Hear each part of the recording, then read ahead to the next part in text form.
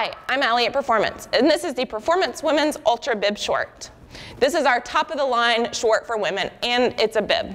It's made of nylon spandex and poly spandex fabrics with coldblack technology. coldblack technology reflects the UV rays and makes the short surface temperature cooler. So it's kind of like riding white shorts that aren't just going to absorb the heat.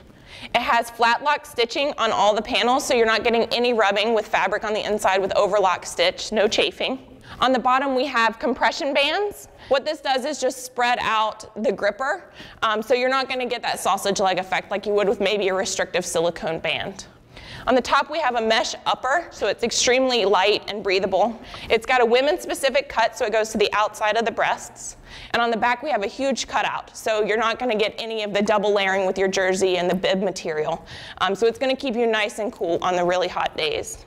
The chamois is Italian made, has an antimicrobial top sheet, has four-way stretch, has pre-contoured wings, and it uses Skyve technology. Skyve technology is where they shave down the layers between the different densities of foam.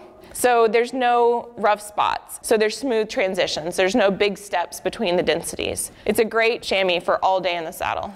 The benefits of the bib is that there's no waistband. There's nothing restrictive around your waist. So when you put in a really hard effort, there's nothing restricting your breathing. It also looks extremely flattering. Some of the drawstring waists or elastic waists can create a muffin top, and you don't get this with that. It's smooth transition and it looks great underneath the jerseys. This is my go-to short for long days in the saddle. This Performance Women's Ultra Bib Short is available only at Performance Bicycle.